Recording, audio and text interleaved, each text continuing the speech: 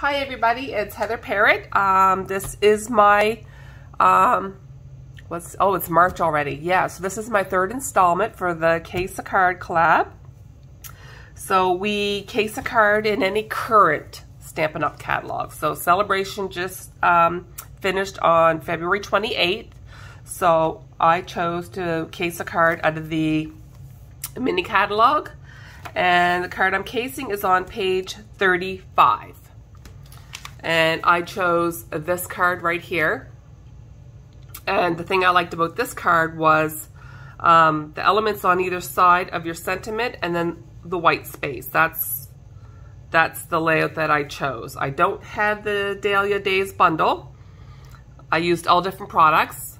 Um, actually, mostly retired products, but you'll get the idea. You, you can do this with any, you know, designer series paper or stamps or whatever. But that's the layout that I chose. Um, so, um, what did I use? I used the True Love Designer Series paper. This is no longer, you know, available. It was last year's. But I love this paper. And what I did was I just, I fussy cut out a bunch of flowers, even the edge pieces. Because on this card, the edge pieces actually came in quite handy. Um, I used a mint macaron card base. And then that was eight and a half by five and a half, scored at four and a quarter. And then a piece of basic white I layered on top with um, a layer of basic black. Um, this card is very simple. Um, my sentiment came from uh, Peaceful Moments, and I use the Happy Birthday because I am always needing birthday cards. Um, rhinestones came from the holiday. Rhinestone Basics Basic Jewels. These are found in the annual catalog, and I use the, it's either Pool Party or Coastal Cabana. Um, it doesn't list the colors on here, so, but they are in the annual catalog.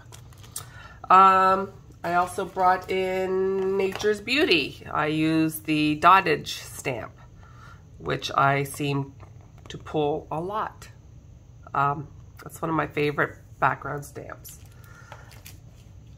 Um, and that's pretty much it. So, very simple card. Um, I'll show you the card again that I um, chose on page 35.